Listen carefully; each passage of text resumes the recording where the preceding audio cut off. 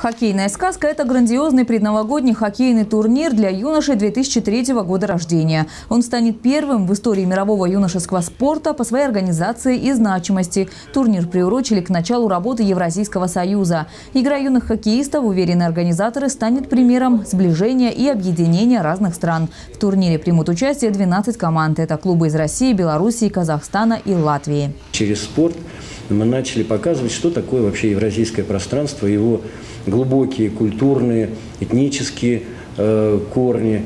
То есть мы живем на одном континенте, и мы уже, наши все культуры давно переплелись. Такую возможность получить э, подобные соревнования э, может не каждый город. И тем, что проходит уже в Сочи, это большая заслуга э, детского центра, это большая заслуга, э, это большой плюс для наших деток, которые тренируются или хотят э, тренироваться хоккеем. Что касается сочинских юных хоккеистов, в турнире этого года они участие не примут. В планах выйти на лед соревнований в 2015 году. Откроется турнир 21 декабря. В церемонии примут участие игроки Кубка Первого канала. А в состав оргкомитета соревнований войдут Аркадий Дворкович, Владислав Третьяк и Александр Овечкин. Организаторы уверены, что турнир не будет разовым и с каждым годом станет привлекать все больше команд. Турнир будет длиться неделю. Финал состоится 20 28 декабря.